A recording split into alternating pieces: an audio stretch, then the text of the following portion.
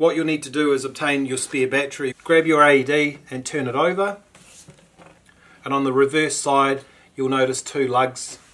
These can be unscrewed off the back of your defibrillator. Then you pull back on the plastic backing and that exposes the battery that's inside your AED. At this stage we can lift that out and pull that away from the back of the defibrillator. With your new AED battery you'll notice that there's three holes and these need to be put into uh, the lugs that are inside the defibrillator. Push those on like so making sure that you line it up correctly and push it down. Slide your new battery in the back of the defibrillator, replace the cover and then put the lugs back on. Make sure when we tighten them back up they're only tight finger tight. At this stage you'll also notice that there will be no lights showing on your AED.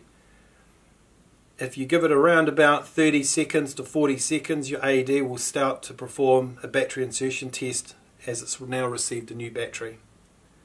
So at the moment the unit's starting a self test so you'll see a lights illuminated, the battery indicators come good and at that stage your AED is now rescue ready. You have two dark indicators showing and an OK symbol which means your AED is now rescue ready